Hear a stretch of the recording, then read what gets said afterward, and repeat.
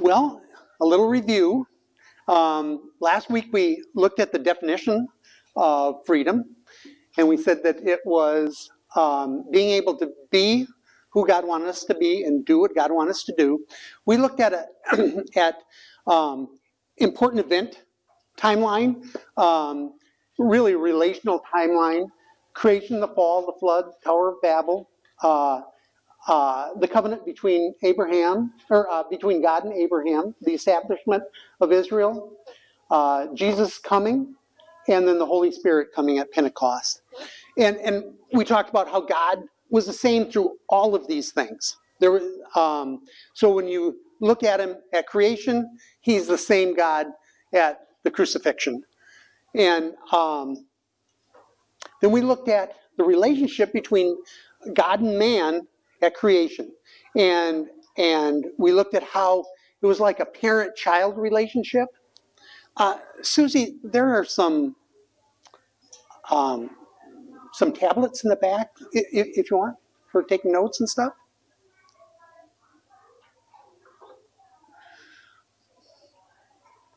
Um, and we saw how how sin and sin nature uh, put this huge divide between a holy God and sinful man, and how because of that we weren't able to experience the um, freedom that God had intended at creation.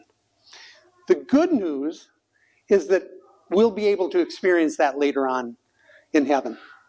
And also, there is a freedom that we can't experience now, today. And over the next couple of weeks, we're going to be looking more and more at that freedom. Um, did anybody uh, uh, think about the homework that we had for this past week, thinking about all the things that God had done in order to establish Israel?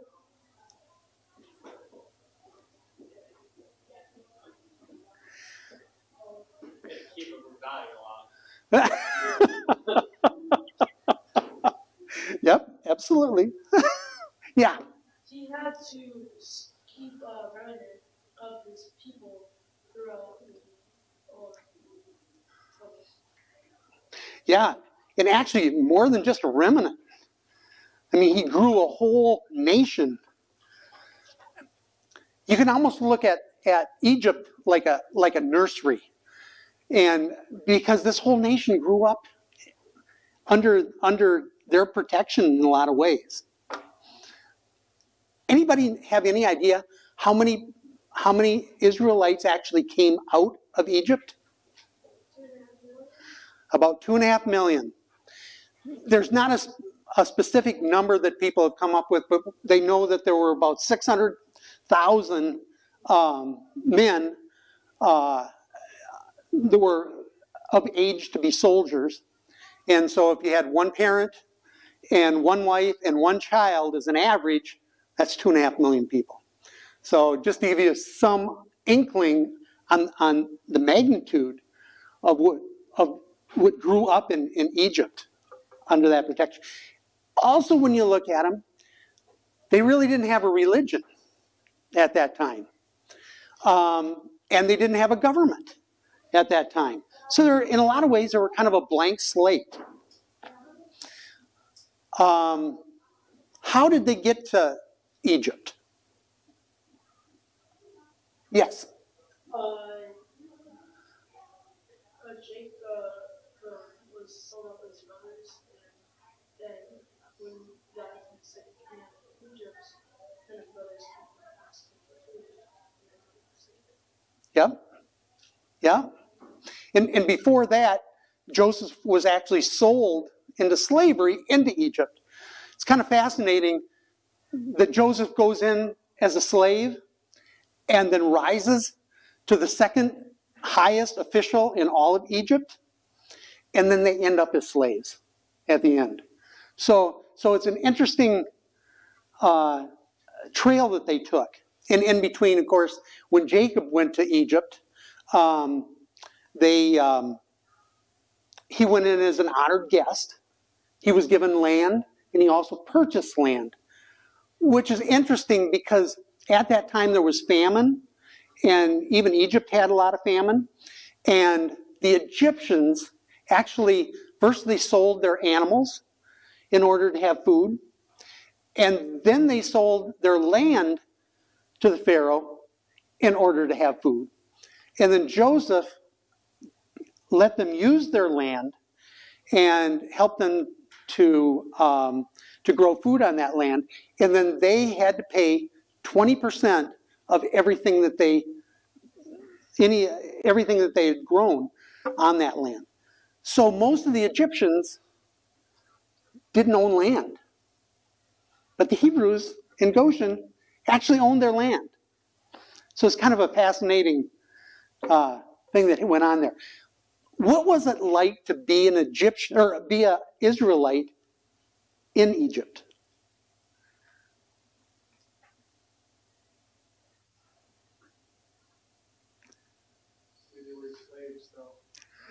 They were enslaved.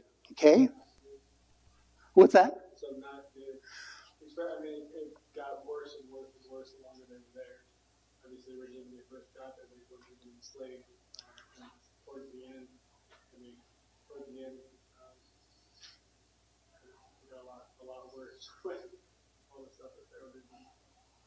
There was the work as slave labor throughout the land. Um, they could be beaten. They were in a lot of, uh, an awful lot of uh, issues from from uh, their work masters. What else happened to them? The Egyptians were worried about them um, overpopulating. Yeah. So how did how did they control their population?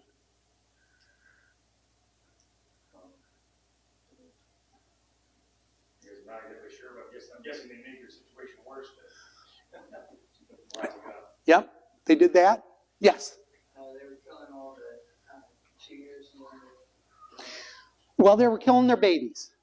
Uh, they, the Egyptians would have the Hebrews actually throw their babies, their male babies, in the river.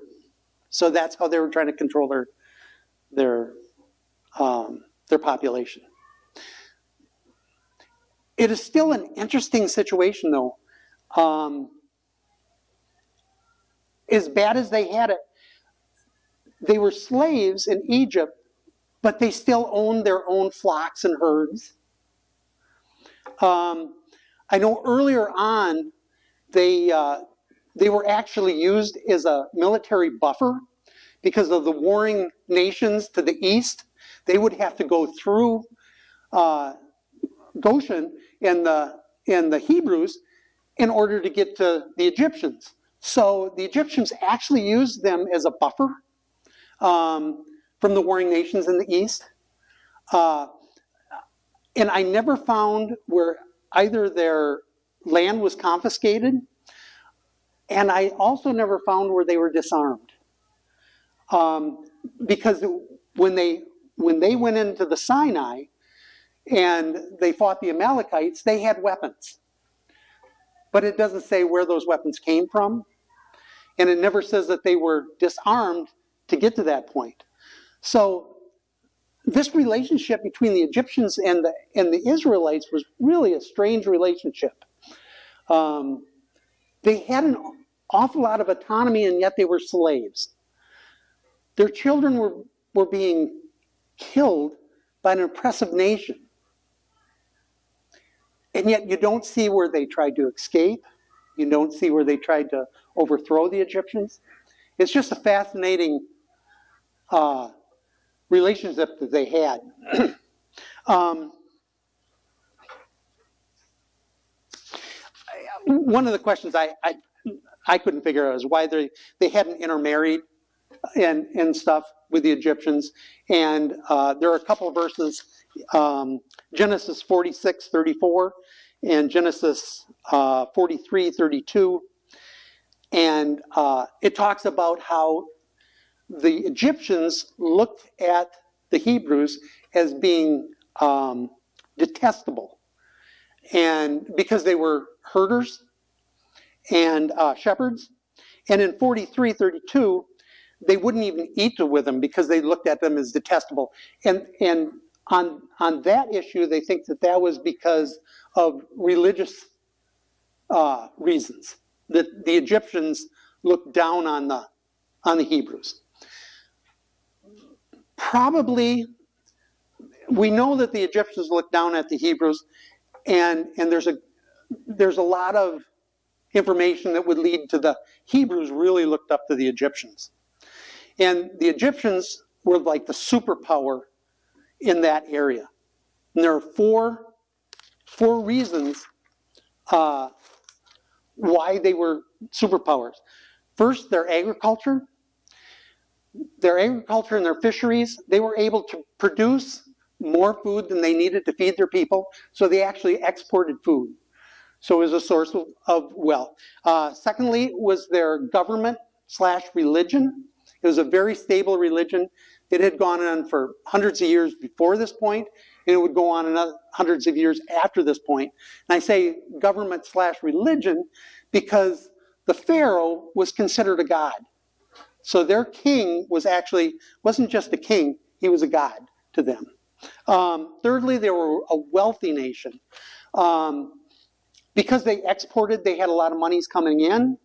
And also, they would conquer areas and, and take money from that too. The wealth wasn't just in the Pharaoh's hands either. It was distributed really throughout the country. There were a lot of bureaucrats, um, soldiers got paid, there were a lot of craftsmen, farmers. All these people um, had money.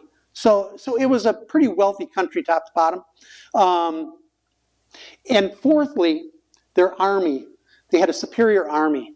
They had a professional army. So these soldiers were, that's what they did for a living, is they were soldiers.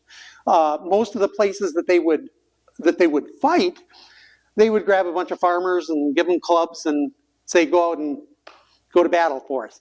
These guys, they, they worked together, they would train together, they would come up with techniques to uh, conquer their enemies. Because they were a wealthy country, they developed all kinds of weapons to go with these professional soldiers. Um, you'll notice that if you see pictures, you see a lot of curved swords and um, curved weapons on the end of poles. Uh, there wasn't a lot of armor back then, so they were they were used to slash through their enemy uh, rather than stab or, or anything like that. Their bows were lightweight and powerful. Um, they were laminated bows. It would take up to five months to, to make a bow at that time, so they were very expensive. Um, but they would shoot a substantial amount further than their enemy's bows. So if, if, if you go into battle and you can shoot 50 feet farther than your, your enemy, that is a huge advantage. They also had uh, chariots that were really lightweight and sleek. You may have seen some of the chariots that are heavyweights that would go into battle and they try to run people over. These were to get uh, Egyptians to points of battle so they could overcome the enemy at, at a certain point in the battle. Often they would have uh, a charioteer and a spearman or bowman on behind. And, and so they might race a hundred or a thousand chariots to a certain point where the battle is weak. Um, and these, these bowmen could shoot like 25 to 35 arrows per minute. If you can imagine a thousand bowmen shooting 30 arrows a minute, you've got 30,000 arrows going into a weak point or a strong point of the enemy. You can imagine what that would do. So their army was super powerful. This, this, this was the superpower in, in the area and and it, it looks like the like the uh, Israelis really looked up to them um, because of all this, and that's where um, that's where we see the plagues coming in. Um, uh, God raises up Moses to come to Egypt and and tell him, "Hey, let my people go," and and Pharaoh said, "I don't know the God of the Hebrews. I don't know the God of the of the Israelis. So, um, so he wouldn't let them go. so Moses uh, was told by God to warn Pharaoh first and um, and come up with these signs to so Pharaoh would let his people go. Um, the first plague that they came up with was was the plague of blood, and where all the Nile, in all the bodies of water, all the ponds and canals, everything turned turned to blood. Um, and, and some people say that uh, that this this could have been flooding from uh, Ethiopia and coming down the Nile, and uh, which is possible, or maybe God just turned it all to blood. I, I, I tend to actually think that God probably turned it to blood because it was in ponds and it was in jars and it was in all, kinds of places that the Nile hadn't gone. So, so in my mind, probably God turned it into blood. And the significant thing is the Egyptians, they worshiped the Nile. So this was a this was really a direct attack on the gods of, of Egypt and also on their agriculture because their fisheries, the fish in the, in the river all died. So, so it was an attack on both of those things. Uh, the second one was uh, frogs, the plague of frogs. And there were just huge amounts of frogs that came uh, out of the Nile. And, um, and it's kind of funny in a way because the Egyptians worshiped the frogs. That they were part of the deity. They looked at them as, as deity. And so it's like God was saying, okay, so you want to worship them? I'm going to give you a boatload of them. And uh, these frogs inhabited all their houses, the palace. Everything was just filled with frogs. And then, um, and, and then when they all died off, there were huge piles of dead frogs all over everyone's houses. So you can imagine what that was like. So the first two plagues, there was, there was a direct um, correlation between the gods of Egypt. Uh, the third one, gnats. Uh, gnats just covered Egypt and uh, covered the men there and also the animals, and, and it really put a lot of stress on the animals. The fourth one were flies. Flies came in again. They would attack men, put all kinds of stress on the on the animals. They would lay eggs on them and bite them, and so there was there was all kinds of issues with the flies. And then the fifth one were, was the plague of livestock. And all the livestock that were outside died in this plague. All the Egyptian livestock did not touch any of the Hebrew or the Israeli livestock. So again, it's an attack on their agriculture. Um, the next one was the uh, plague of boils. And all the animals that were left, the ones that were inside, didn't die. They all got boils. The people got boils. Um, and uh, so another attack on their agriculture. Um, the next one was hail. And God sent hail that they said there'd never been a storm like this storm that they went through. Anything that was outside, any man, any animal, was killed by this hail. All of the crops that were growing, I think it was barley and flax at that time, they were all wiped out from this hail. So again, another attack on their agriculture. The next one was locust. And the locust came a few months after the hail. And now the, now the wheat and the spelt are starting to grow. The locusts come in and wipe, completely wipe out the wheat and the spelt. And uh, all the trees, anything that had green on it at all, they wiped out. Again, another attack on agriculture. Um, and then the next two, there will be a, a real emphasis on the gods of Egypt. Um, the next one is darkness, and Ra was the was the sun god, and and Ra and the sun god in Egypt was their main their chief god. So it was like Odin or uh, Jupiter, Zeus. That, that that would be the equivalent of Ra. Um, and God took away the light, blocked out the sun for three days. And, and this one really shook up the, the Egyptians more than anything else because this was their top god, their sun god.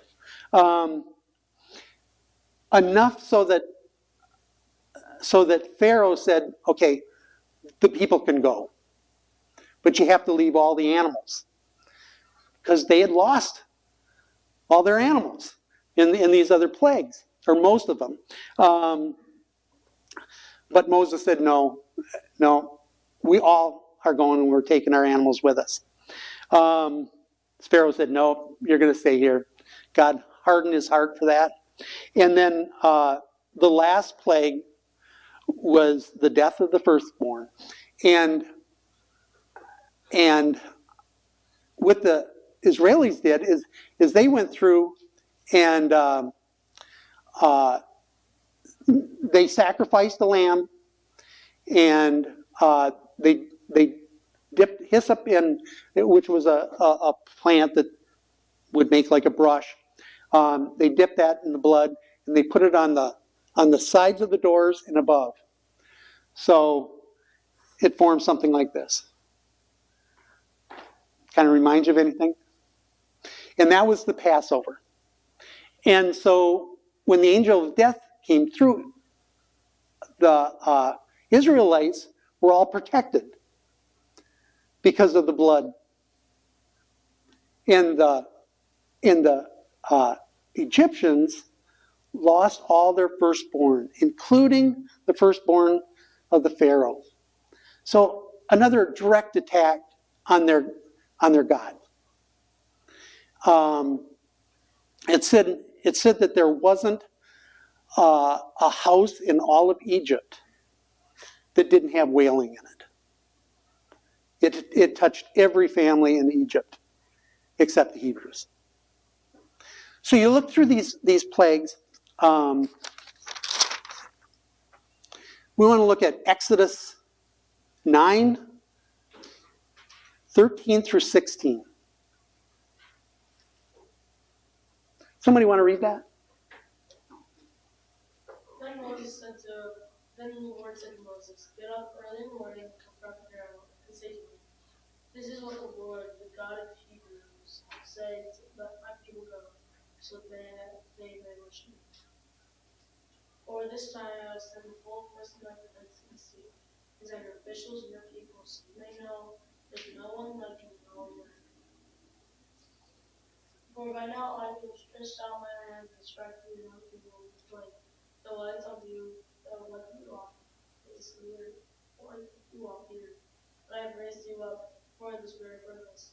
I may show you my power and my name shall be might be proclaimed in all the earth. Wow. What does that verse, what does that tell you, this passage? God wants himself to be known. What's that? So God wants himself to be known. Yeah? What else?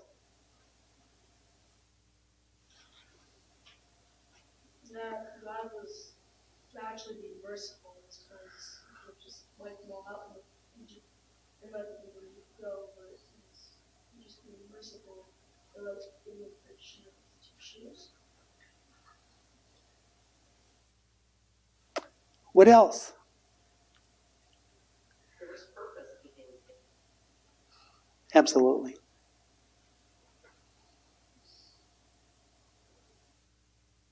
What do you think the purpose was? it was to demonstrate his power and to show that he was above all the uh, all the Egyptian gods or gods that uh, they had made up, and he was showing that he could do whatever he wanted, and that uh, his he was there was none like him in all the earth. Absolutely. Anybody else? So he says that he could have wiped out the Egyptians at any time and freed his people. But he chose not to do that. He could have done it earlier on. Instead, he went through all 10 of these plagues, showing his supremacy, his superiority over all the over all their gods and their agriculture. Two of the things that made them so great. Um, Exodus 10, 1 and 2. Somebody want to read that? Then the Lord said to Moses, Go to Pharaoh, for I have hardened his heart and the hearts of his officials, so that I may perform these signs of mine among them. That you may tell your children and grandchildren how I dealt harshly with the, with the Egypt, Egyptians, and how I performed my signs among them, and that you may know that I am the Lord. So it's talking about two audiences here that God is talking about and, and trying to demonstrate to. What are the two audiences? Yeah. The future generations of Hebrews and to the future generations of Egyptians. Well, and all the earth.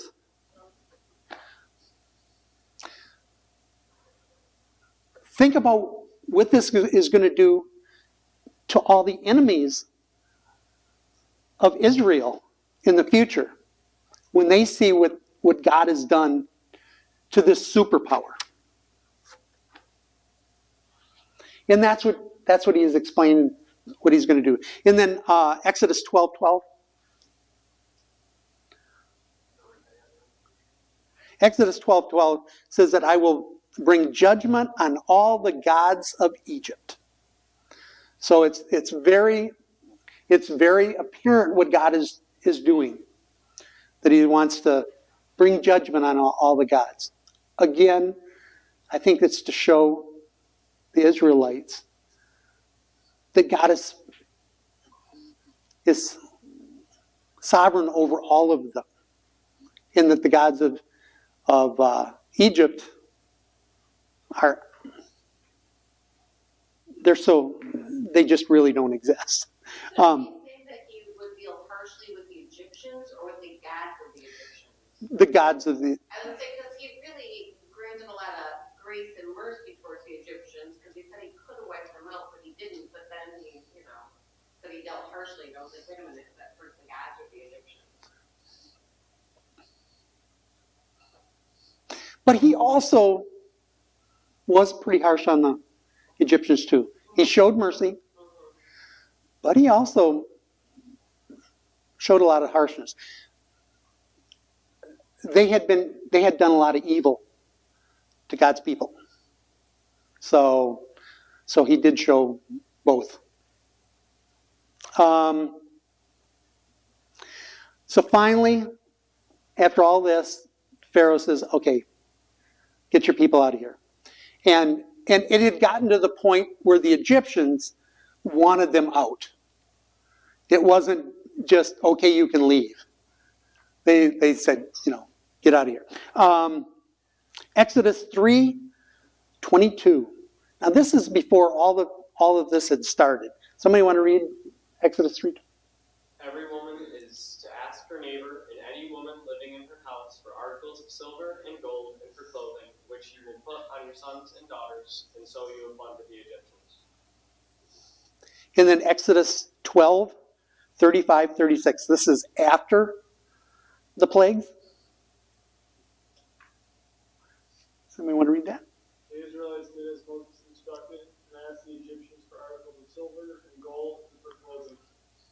The Lord had made the Egyptians favorably disposed towards the people, and they gave them what they asked for.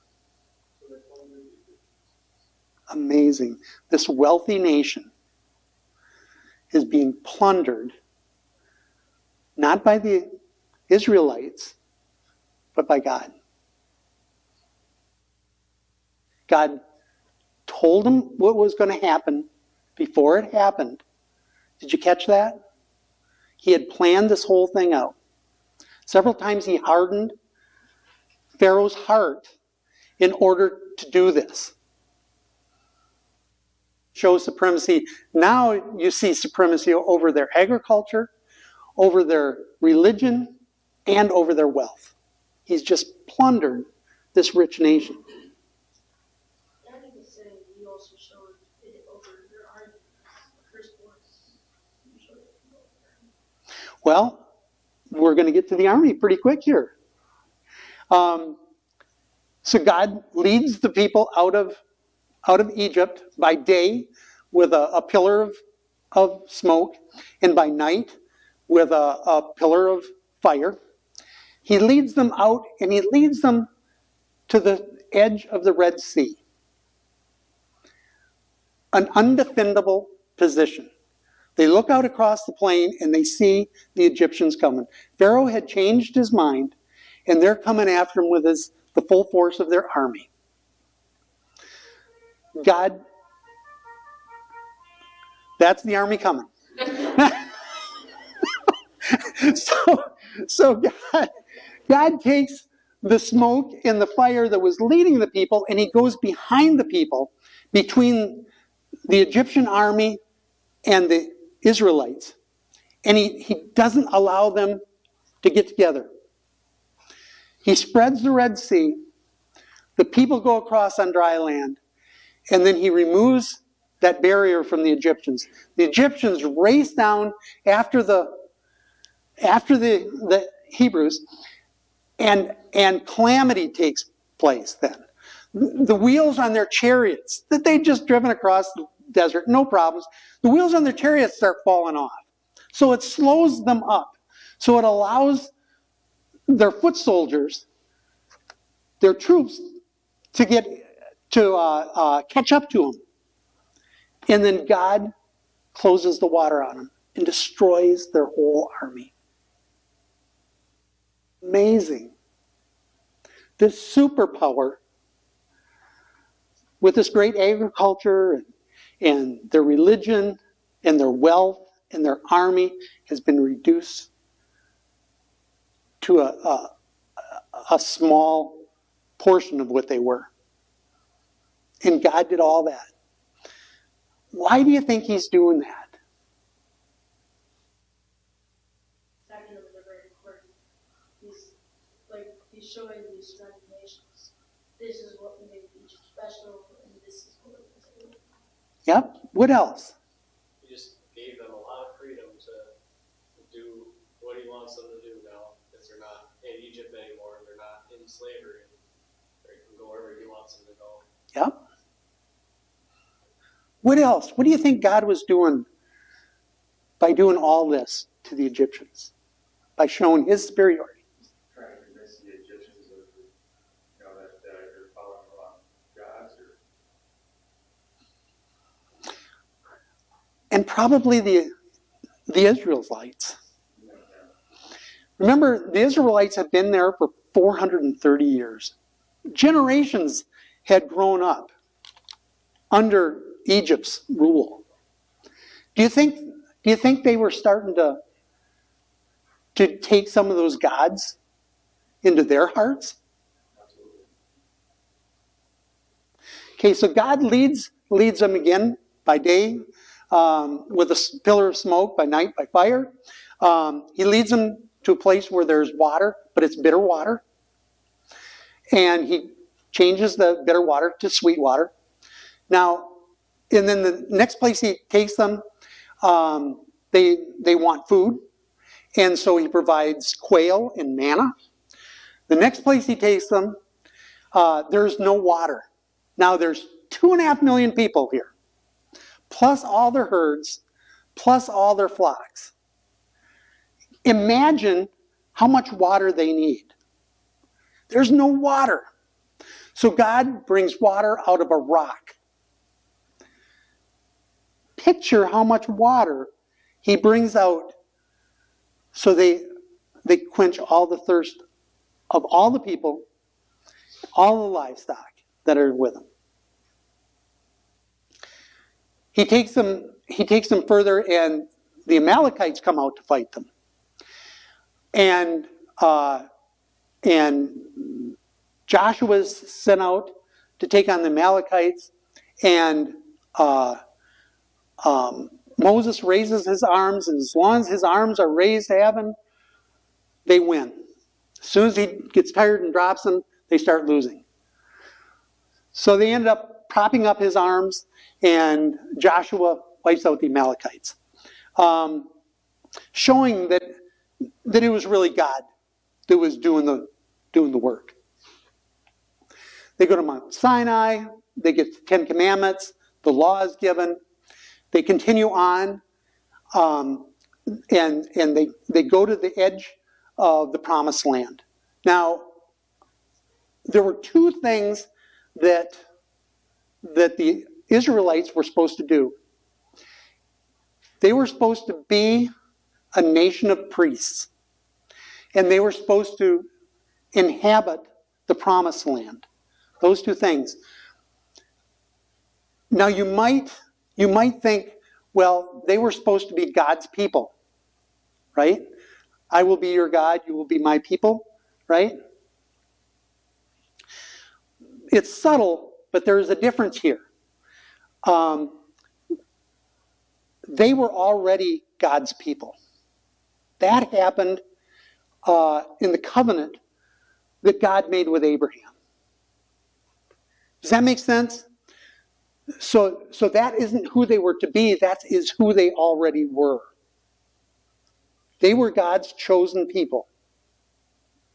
So, what they were to do, or who they were to be, were a nation of priests.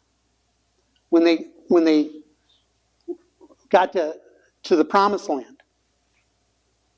Um,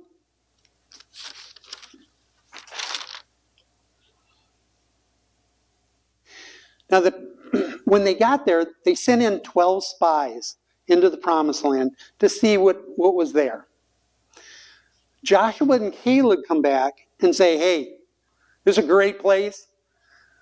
God's going to take us for us. Let's get her done. But the other 10 spies come back and say, oh, yeah, it's a great place, but there are giants. We can't beat them. And that spread through the camp.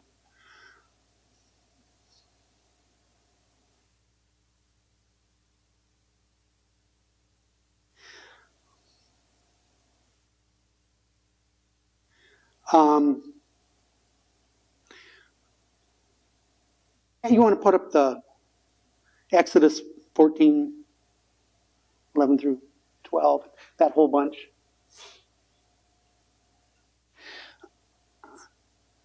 Um, these are all in, in 14, 11 through 12. They were complaining because they said they'd die in the desert. Uh, in Exodus 15, 24, they were complaining because they had bitter water. So they were going to die of thirst. Uh, in, in 14, they were worried. They, they, said that the, that the Egyptian army was going to kill them. Um, in 16, 2, 2 and 3, uh, they said in Egypt they had food. And here they were out in the desert, and God, so they were grumbling about not having food. That's when God gave them the, the quail and the manna. In Exodus 17:3, they were complaining and grumbling because they had no water. They, they were, why did God bring them out to the desert to die again? Um, in Exodus 32:1, Moses had gone up on Mount Sinai to get the Ten Commandments. And the, he was gone for 40 days. And so they built a golden calf because they wanted something so they could follow. So they made it out of their own hands, just like the gods in Egypt. So had they, had they drawn from Egypt and on the gods of Egypt, you can see it here with the golden, with the golden calf.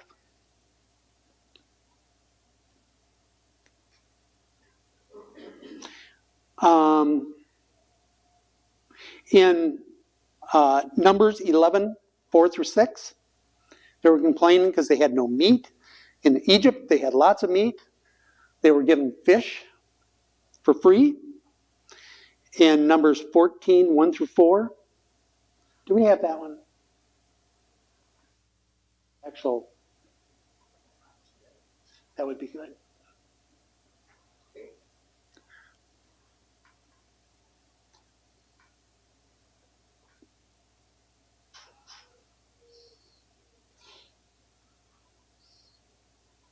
Somebody run read that.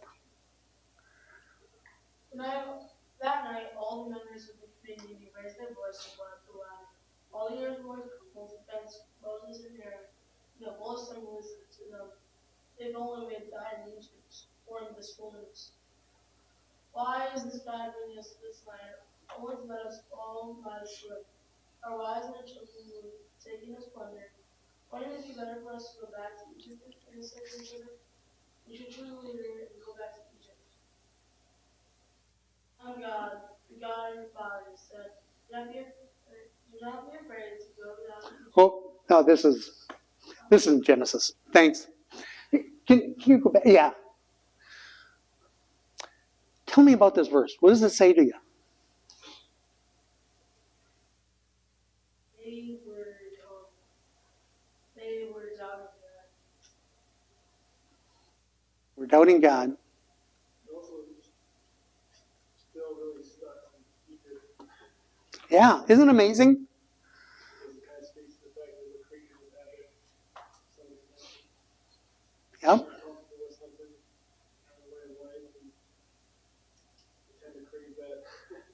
Yeah. Better ways out there. I mean, there were slaves there, it. So, it was- They were looking for someone to take them back to Egypt. It's crazy. You can imagine they certainly be welcome back with open arms to Egypt, right? Maybe. hard, hard to know how that reunion would be. uh, Deuteronomy 1 30 through 35. Somebody want to read that? And in the wilderness, there, uh, there you saw how the Lord your God carried you, as a father carries his son, all the way you went until you reached this place. In spite of this, you did not trust in the Lord your God, who went ahead of you on your journey, in fire by night and a cloud by day, to search out places for you to camp and to show you the way that you should go. Again, what picture does this have of God and people? He's patient. Even after all their crumbling, he's still. What else? Doesn't it remind you of, of the relationship in, at creation between God and man?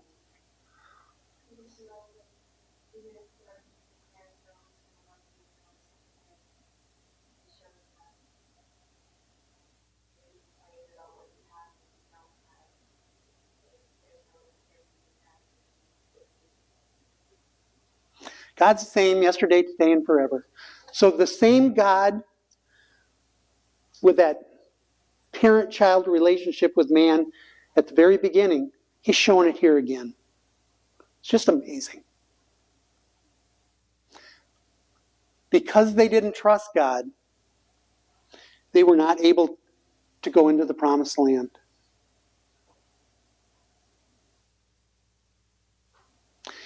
What do we learn about freedom from this? And if we try to rebel against it, it will just, uh, rise above it. Okay?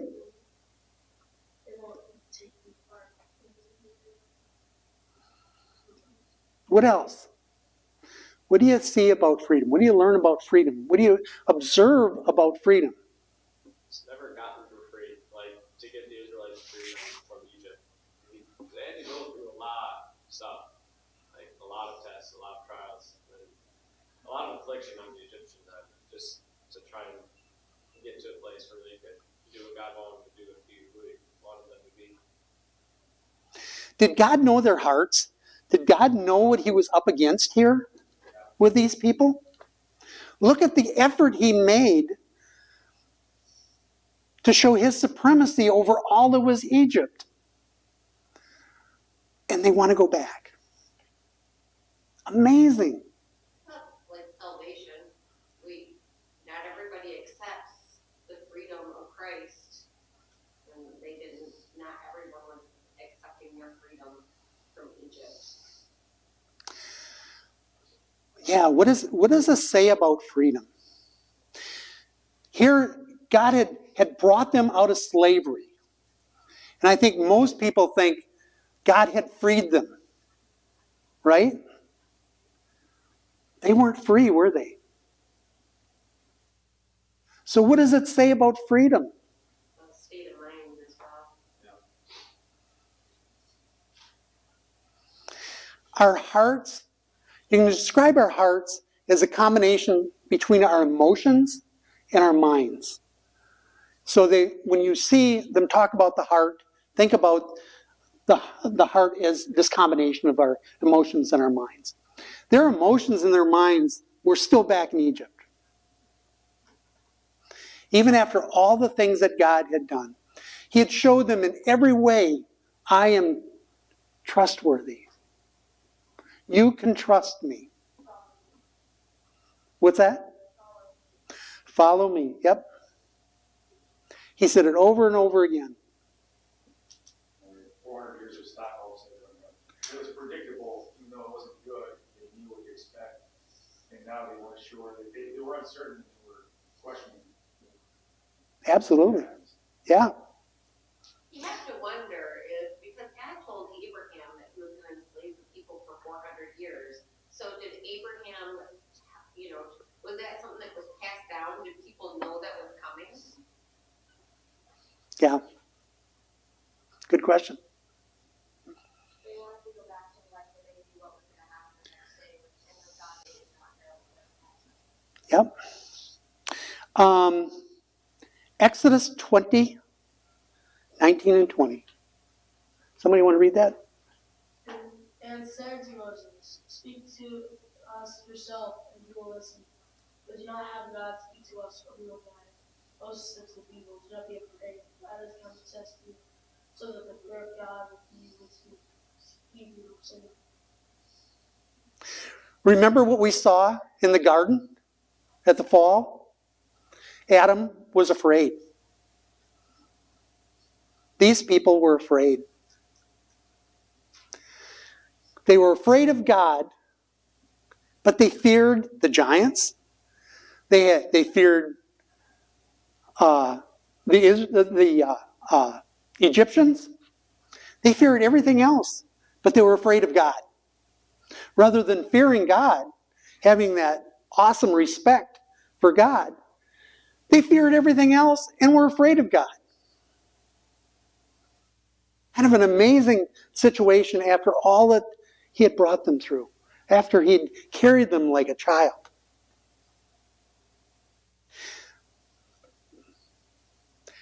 Was all lost, though, at, at this point? All this effort that God had put in all these little intricate things that he had done to bring them to the promised land.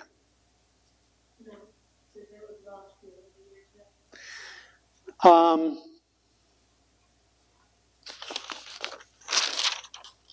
Deuteronomy 8 2. Somebody want to read that? Remember how the Lord your God led you all the way in the wilderness these forty years, to humble and test you in order to know what was in your heart, whether or not you would keep his commands. Who's he talking to here?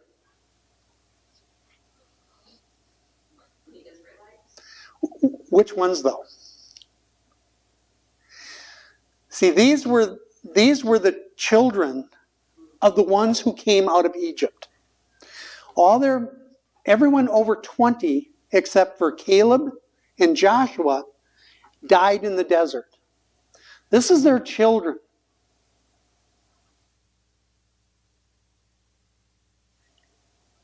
And God said that he that they were out in that desert, they were out in the wilderness for 40 years so he could test what? so he could test their hearts. He wanted to see what was in their minds and their, in their emotions. He wanted to see what was in their hearts. Did they trust him or not? Again, what does this say about freedom?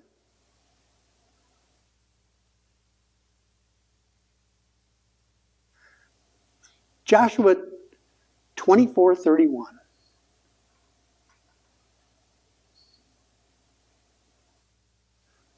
Somebody want to read this? This is talking about that generation, the ones who wandered in the desert for 40 years. Somebody want to read this? Israel served the Lord throughout the lifetime of Joshua, and the elders who outlived him, and, the, and him who had experienced everything the Lord had done for Israel.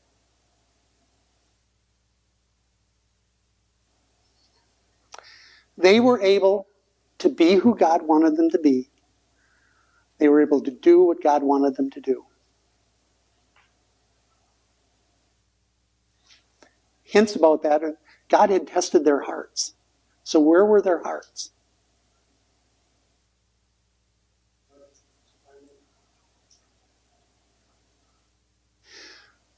So, all this that he went through wasn't so much for their parents. He knew all the issues they were going to come up against, right?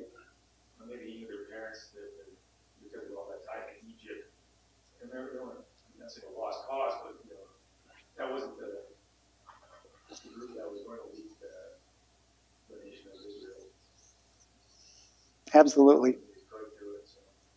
It's like, reminds me of like basic training, how they break you down, and then they slowly form you, build you back up, and you know, teach you how to look at things.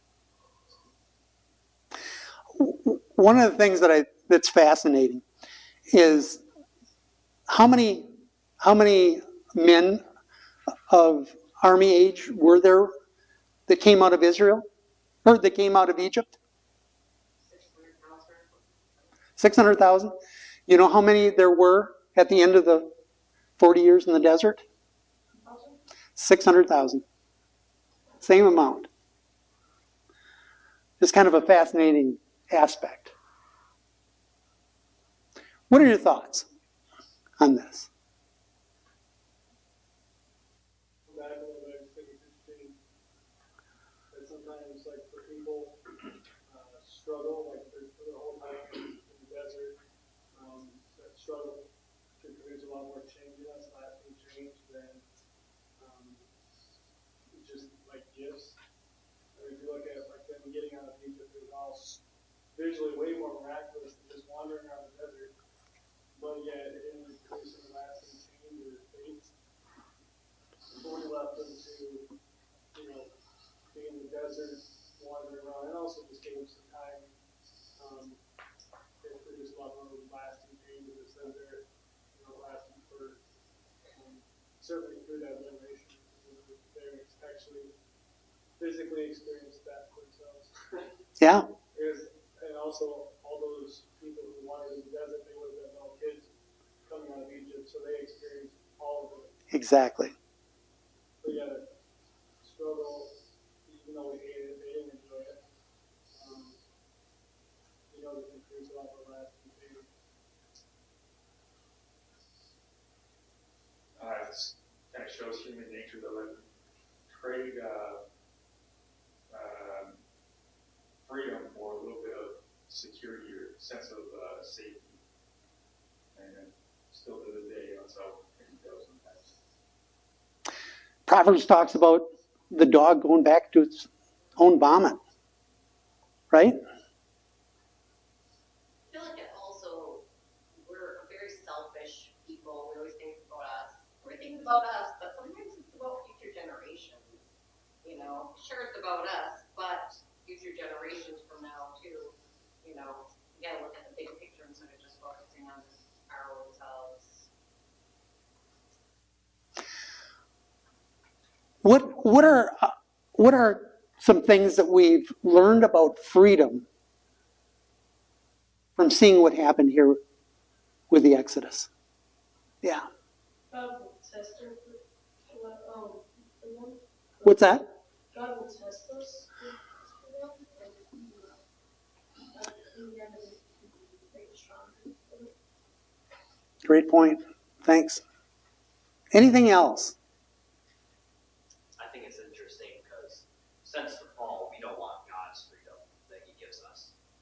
We did want, we don't want the freedom that we had in the garden. We want, uh, like Jay was saying, we want security. We want things to be comfortable. We want things to be our way, not God's freedom. So, like fleshly desires? And we don't want trials. We only want the victories. Yeah. Yeah. What else do we learn about freedom from this? I think it shows how we can be in a physical state of freedom while allowing our, our minds to still hold us hostage and, and not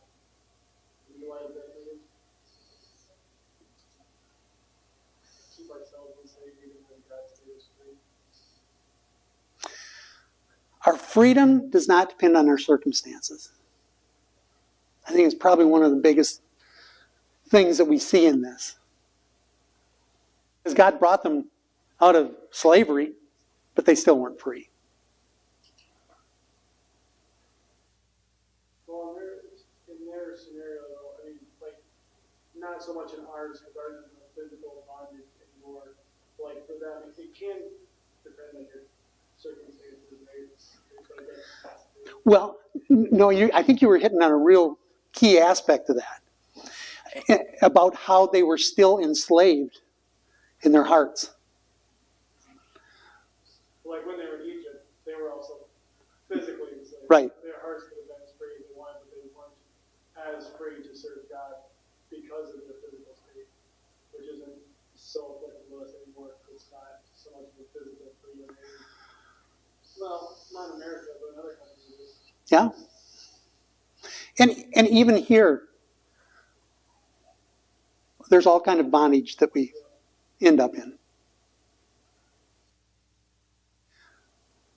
But it's not about the freedom that God has for us is not about our circumstances. It's about the condition of our hearts, and it's about the relationship. That's what we've seen through through all of this so far about how much the relationship matters.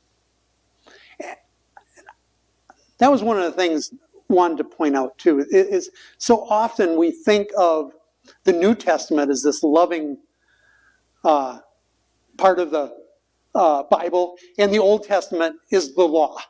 You know, this harsh part of the law. But we see we see the love and tenderness that God had all through the Old Testament too. And it, it, it comes out so clearly in so much of this. And I, I think it's not um, to be taken lightly that, that the relationship that we have here with God in, this, in the Old Testament, the relationship that they had with, with God determined their freedom. It's an important point that we'll touch on later on. So many of the things that we've kind of raced over, and, and I know here we're talking about freedom. Really, we spent most of the time talking about relationships. As we go on, hopefully we'll, we can connect those a little bit better. Any, any more comments or, yeah? Just you're saying, though, it's if you trust God, then you don't have these other, uh, issues, you're you're not worried about the other things. So they're, they're, they're, they're freedom is there, so that's, that's it. Yep. Anybody else? I was just thinking that, you know, when we're talking about they were physically not free before, but maybe, you know, I'm just comparing it to sometimes how you can, you can be like, oh, if only, if only, you know, we weren't in Egypt, then we could worship God, but really could have just been, I mean, I'm not saying that happened, but you know where that happens all the time. Oh, yeah. People do, if only, if only this, then I could, you know, and so it's really a lot of times just that we always are making excuses. If only I had different parents. If, if only I lived someplace else. If only I'd had a different spouse. If only I had this. If only I had that. Exactly. And then sometimes you get those, like, they hold it and you're like, oh, well, what about this? Mm-hmm. Maybe after this. Exactly. Yeah. Yep. I'll be free when this happens. Yep. We're going to be covering a lot more of that in the future. Actually, next week we'll be getting into the New Testament. So, any anything else? It's um, it's like it's cool to see how things in like Genesis and Exodus connects uh, the New Testament and the Revelation through just different passages that connect. And it's cool to see how they Absolutely. And there's so much that we didn't have time to cover. So, it's pretty neat too to see everything that God did. I mean, all the detail work, all the very intricate orchestration of all these different things in order to get us from what happened in the garden in the fall to now, you know, that, like you said, next week we're going to be in the New Testament and Jesus, just for Jesus to even be born and to walk the earth and to be able to do what was necessary for our salvation. Like, everything you talked about today with Israel was an integral part of that. Like there wasn't anything that happened with Israel where that wasn't on God's mind as the directional that was going, and just how much that actually entailed, and how much planning went into it, how much time, and all these different things is pretty remarkable. yeah, it, yeah, it's just a correct word to use would be awesome, you know, because of seeing what God did through all this. And, and all the, like you said, all the little things. Like, I have to believe that God put it in the Egyptians' minds that the Hebrews were detestable in order to protect them. So somehow he did that years earlier for the whole country to feel that way by the time the Hebrews got to, to Egypt. I, I mean, those are the those are the little things. Uh, the burning bush was amazing to me. It was at Mount Sinai or Mount Horeb. Um, God spoke to Moses out of this bush. He trained him on how to act and react in his presence. He said, Take off your sandals. This is holy ground. So, just to see how God prepared Moses in that way, so when he came to Mount Sinai and the whole top of the mountain's on fire, he was okay with that. He understood because God had already trained him to be there. You know, there's just so many things in this that we can look at and be amazed at on what God did through all of this.